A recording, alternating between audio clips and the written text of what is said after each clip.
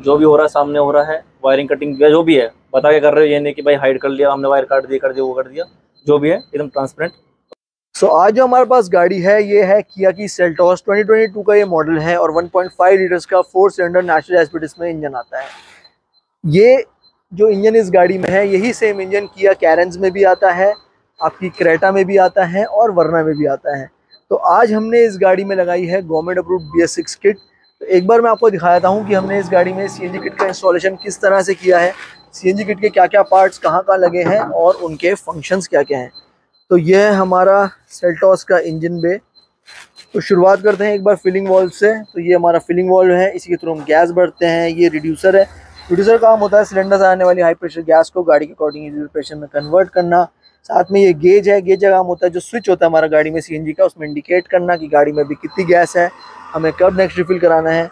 ये हमारा map sensor है सीएनजी सिस्टम का, ये हमारे इंजेक्टर रेल्स हैं। इंजेक्टर का काम होता है इंडिविजुअली गैस को इंजन में पंप करना। मार्केट में एक मिथ है कि भाई अगर एट इंजेक्टर पेट्रोल कार है मतलब पेट्रोल पे इस गाड़ी में जैसे आठ इंजेक्टर्स आते हैं तो सीएनजी के भी आठ ही इंजेक्टर लगे होंगे, तभी गाड़ी अच्छा परफॉर्म करेगी। तो मैं अपनी कई सारी वीडियोस में जो मैंने सेल्टोस या वरना या क्रेटा की बनाई है, उनमें ये चीज़ क्लियर की है। देखिए एक एग्जांपल देता हूँ। अगर आपको एक रोटी की भूख है तो अगर आप एक रोटी खाते हैं बड़ी तो आपकी भूख मिट जाएगी। या अगर आप दो छोटी छोटी रोटियाँ खाते हैं तो भी आपकी भूख मिट जाएगी। तो आपकी जो रिक्वायरमेंट है, उतनी ही आपको ज़रूरत है रोटी की। ये एक एग्ज़ाम्पल था। मेरा कहने का मतलब ये है, जितना सीएनजी हमें इंजन को स्मूथ ऑपरेशंस के लिए देना है, वो आप चाहे चार इंजेक्टर वाला रेल लगाएँ या आठ इंजेक्टर लगाएँ मतलब डबल रेल लगाएँ जितनी रिक्वायरमेंट है ट्यूनिंग के थ्रू उतनी ही गैस इंजन में ब्लॉक में कंबस्टन चेम्बर में जाएगी। ऐसा नहीं है कि आठ इंजेक्टर लगे होंगे तो ज़्यादा गैस जाएगी और चार इंजेक्टर लगे हैं तो कम गैस जाएगी। हमें कंबस्टन के लिए जो प्रॉपर एयर फ्यूल रेशो है, उसको ट्यून करना होता है ताकि गाड़ी में जो कंबस्टन हो रहा है वो प्रॉपर हो। अगर हम ज़्यादा गैस डाल देंगे तो भी मिसिंग आएगी गाड़ी में। अगर हम कम गैस देंगे तो भी मिसिंग आएगी। तो ये जो एक मिथ है ना, लोग मुझको फ़ोन करके पूछते हैं कि, सर, आप चार इंजेक्टर लगाओगे कि आठ इंजेक्टर लगाओगे? तो देखिए, ये एक बहुत अजीबो गरीब सी बात है। ये रोटी वाले एग्ज़ाम्पल से आपको मेरे ख्याल से आपका थोड़ा बहुत डाउट क्लियर हो गया होगा। तो चार लगे या आठ लगे? गाड़ी की ट्यूनिंग सही होगी तो चार पे भी सेम परफॉर्मेंस होगा। आठ लगे होंगे तो भी सेम परफॉर्मेंस होगा। मैंने कुछ वीडियोस पहले भी बनाई है सेल्टॉस की, जिसमें कि कहीं और से किट लगी हुई है, आठ इंजेक्टर लगे हुए हैं, सब कुछ लगा हुआ है लोडेड है डायनामिक भी लगा हुआ है, मगर गाड़ी अच्छा परफॉर्म नहीं कर रही बिकॉज़ ट्यूनिंग खराब थी। सिर्फ़ ट्यूनिंग की मैंने और गाड़ी सेट हो गई। एक वीडियो सेल्टॉस की है मैट ब्लैक कलर की सेल्टॉस है। आप वो वीडियो देख सकते हैं रेफरेंस के लिए। तो खैर, ये तो हो गए हमारे इंजेक्टर रेल्स अब आ जाते हैं पीछे की तरफ़। ये हमारा ई e है। ये जो ई e है, सारा खेल इसी का है। ये एट इंजेक्टर वाला ई e है। इसमें हमने कोई एक्स्ट्रा डिवाइस नहीं लगाया है, बाकी के गाड़ी के। चार इंजेक्टर्स को हैंडल करने के लिए, क्योंकि होता क्या है, देखिए, इस गाड़ी में जो हमने ई e लगाया है, ये स्पेशली डिज़ाइंड है एट इंजेक्टर्स को हैंडल करने के लिए। अगर आप फोर इंजेक्टर्स वाला ईसीएम लगाते हैं तो साथ में आपको एक छोटा सा डिवाइस अलग से लगाना पड़ता है, जो गाड़ी के बाकी के चार इंजेक्टर्स को हैंडल करता है। दिक्कत उसमें भी कुछ नहीं है, अगर कोई इंस्टॉलर वो लगा रहा है आपकी गाड़ी में तो कोई दिक्कत वाली बात नहीं है परफॉर्मेंस आपकी गाड़ी की सेम आएगी। कॉस्टिंग में हाँ थोड़ा फ़र्क आएगा। ये वाला ई e वाली जो किट है, वो थोड़ी सी एक्सपेंसिव है, वो वाली आपको थोड़ी सी सस्ती पड़ेगी। तो वो आपके ऊपर अगर आप थोड़ी कॉस्ट कटिंग करना चाहते हैं तो वाले ई e के साथ लगा सकते हैं। चार इंजेक्टर वाले, ये आठ इंजेक्टर वाला है। चार इंजेक्टर वाले के साथ एक एक्स्ट्रा डिवाइस लगेगा। वो थोड़ा सा एक्स्ट्रा कॉस्ट करता है, मगर इससे आपको थोड़ा सा चीपर साइड पे पड़ेगा।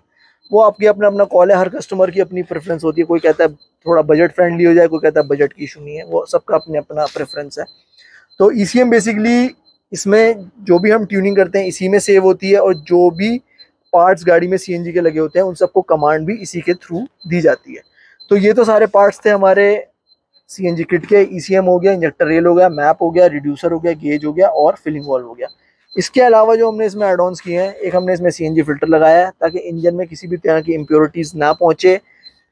साथ में इसमें एक डायनामिक एडवांसर लगाया है। डायनामिक एडवांसर बेसिकली गाड़ी के क्रैंक कैम थ्रोटल और मैप सेंसर के साथ मिलकर गाड़ी की परफॉर्मेंस को इम्प्रूव करता है। ये सॉफ्टवेयर बेस्ड डिवाइस है।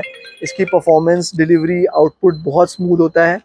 इस गाड़ी में स्टैटिक एडवांसर भी अच्छा काम करता है, मगर डायनामिक के साथ बेहतर परफॉर्मेंस आती है स्टैटिक के मुकाबले।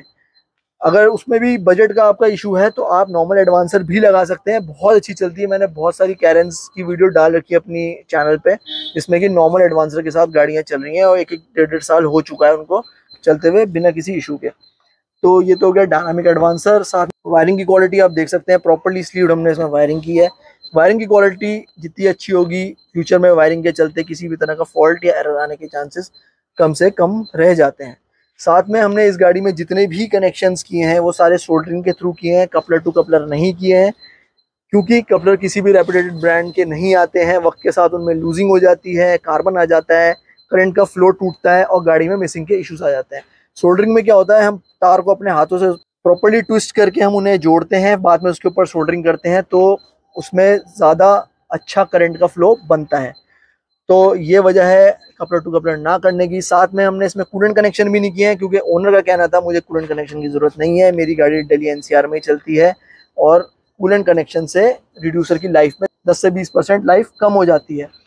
बाकी कूलेंट कनेक्शन का फ़ायदा उन लोगों के लिए जो बहुत फ्रीक्वेंटली हाईवे पर रहते हैं सर्दियों में तो इसके ऊपर आइसिंग हो जाती है। आइसिंग हो जाती है तो जो हमारी सीएनजी होती है, उसका फ्लो थोड़ा सा रिस्ट्रिक्ट हो जाता है, जिसकी वजह से गाड़ी की परफॉर्मेंस ख़राब हो जाती है। अगर आप रेगुलरली हाईवे पे रहते हैं ठंडे मौसम में तो आप कूलेंट कनेक्शन ज़रूर कराएँ। अगर आप नॉर्मल सिटी में चलते हैं और दिल्ली एनसीआर में रहते हैं तो आपको कूलेंट कनेक्शन की ज़रूरत नहीं है। ये आपको सोचना है कि कूलेंट कनेक्शन की आपको ज़रूरत है कि नहीं। तो ये तो हो गए हमारे सारे पार्ट्स सीएनजी किट के। आप देख सकते हैं सारी चीज़ें प्रॉपरली प्लेस हैं। कुछ भी चीज़ आपको आउट ऑफ़ प्लेस नहीं मिलेगी। अब एक बार मैं आपको बूट स्पेस दिखा देता हूँ सेल्टॉस में कितना बचता है सीएनजी का सिलेंडर लगने के बाद। तो ये है हमारा सेल्टॉस का बूट स्पेस और आप देख सकते हैं अच्छा खासा लगेज एरिया आपको मिल जाता है। ये गाड़ी का ओरिजिनल जो बोर्ड लगा होता है स्टेपनी के ऊपर, ये वो है। और अच्छा खासा लगेज एरिया आपको मिलता है। सिलेंडर में एक बार आपको दिखा देता हूँ। इस गाड़ी में जो सिलेंडर है, ये है बारह किलो का मतलब कि सिक्सटी लीटर्स का। स्टैंड की क्वालिटी आप देख सकते हैं प्रॉपर पाइप वाला हमने इसमें स्टैंड लगाया है। साथ में इसमें रबर ग्रिपिंग भी की है। साथ में डक्टिंग भी है इफ़ इनकेस सिलेंडर में ओवर फिलिंग हो जाती है तो गैस ऑटोमेटिकली बाहर चली जाएगी कैबिन में गैस की स्मेल नहीं आएगी। जो भी हम नट बोल्ट यूज़ करते हैं, वो हाई क्वालिटी बोल्ट्स होते हैं। नट्स हमारे सेल्फ लॉकिंग होते हैं। एक बार अगर टाइट हो जाते हैं तो खुद से कभी लूज नहीं होते। तो ये तो हो गया हमारा बूट स्पेस और इंजन में तो मैंने आपको दिखाई दिया। अब एक बार गाड़ी के ओनर से पूछ लेते हैं कि उनका क्या फीडबैक है। तो सर, आपकी सेल्टॉस में बहुत लंबी डिस्कशन के बाद आज सीएनजी लग गई। तो सारा काम आपके सामने हुआ। बिल्कुल। काम आपको कैसा लगा? काम जेनवन एक नंबर। बिल्कुल ट्रांसपेरेंट जो भी हो रहा है सामने हो रहा है वायरिंग कटिंग जो भी है बता के कर रहे हो ये नहीं कि भाई हाइड कर लिया हमने वायर काट दिया कर दिया वो कर दिया जो भी है एकदम ट्रांसपेरेंट गाड़ी एकदम स्मूथ चल रही है। सोल्डरिंग किसने करी? सोल्डरिंग आपने की। आज शौक शौक में मैंने सोल्डरिंग कर दी खैर वैसे लड़के ही करते हैं। तो अभी चलाई आपने? चलने में? एकदम स्मूथ कोई दिक्कत परेशानी? Petrol as of now smooth एकदम स्मूथ तो देखिए सर सेटिस्फाइड है और बहुत कंफ्यूज भी थे इन्होंने बहुत सारी जगहों पे बात भी हाँ। की। किसी के कुछ रिव्यूज़ थे किसी का कुछ था कि भाई ये लगा लो वो लगा लो। मतलब बहुत सारे बहुत कंफ्यूज थे ये। फाइनली कंफ्यूजन इनकी दूर हुई। आज ये हमारे पास आए हमने इसमें सीएनजी लगाई एंड ही सेटिस्फाइड तो देखिए मार्केट में जो किट्स हैं वो सब जगह सेम यही है। ठीक है? और जो भी काम होता है वो लेआउट के अकॉर्डिंग ही होता है। बस द थिंग इज़ कि कौन किस किसके पास कैसे टेक्नीशियंस हैं ट्यूनिंग किस तरह से होती है, उस चीज़ का सारा मेजर रोल है। तो इंस्टॉलेशन अच्छी हो तो बहुत अच्छी बात है।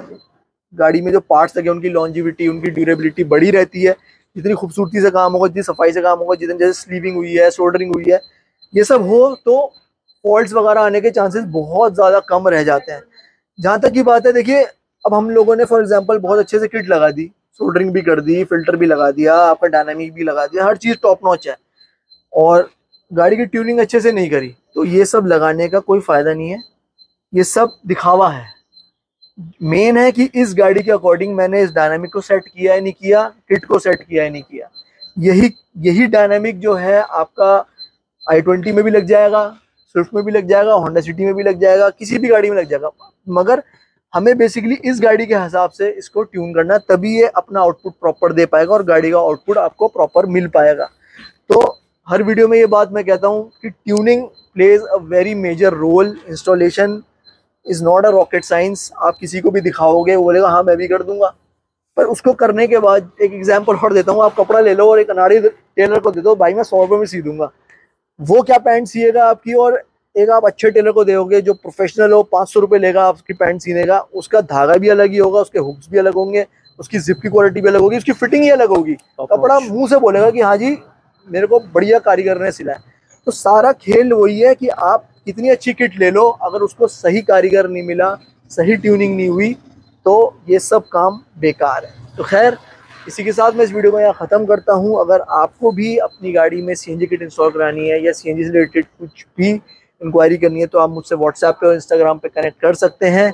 और अगर आपको ये वीडियो अच्छी लगी तो इसे लाइक करिए शेयर करिए, मेरे चैनल सब्सक्राइब करिए और बेल आइकन दबाना ना भूलें।